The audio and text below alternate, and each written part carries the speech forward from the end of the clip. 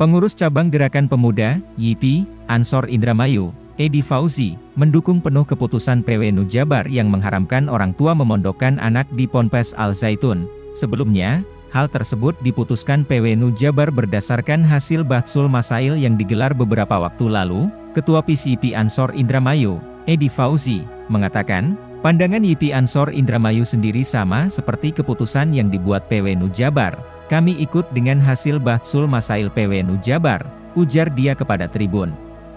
Senin, 26 Juni 2023, PC Ansor Indramayu juga mendesak agar pemerintah bisa cepat menuntaskan polemik yang terjadi di Ponpes yang dipimpin Panji Gumilang tersebut. Ucapan Panji Gumilang menimbulkan reaksi yang sangat keras terutama dari kalangan umat Islam. Pasalnya, Ponpes Al-Zaitun dianggap menyebarkan ajarannya yang sesat dan tidak sesuai dengan akidah agama Islam. Ia menilai, pemerintah seharusnya sangat bisa menyelesaikan persoalan tersebut dengan beragam perangkat dan kewenangan yang dimiliki, terlebih, isu soal Al-Zaitun ini, diakui Edi Fauzi sudah lama terjadi.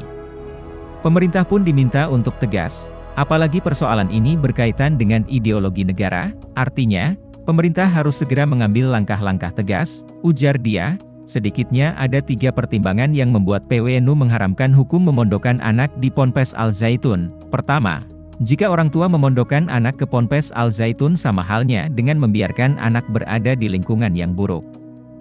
Kedua, haram memondokkan anak di Ponpes Al Zaitun sama halnya dengan memilihkan guru yang salah untuk anak. Ketiga, membiarkan jumlah keanggotaan kelompok yang menyimpang menjadi tambah banyak.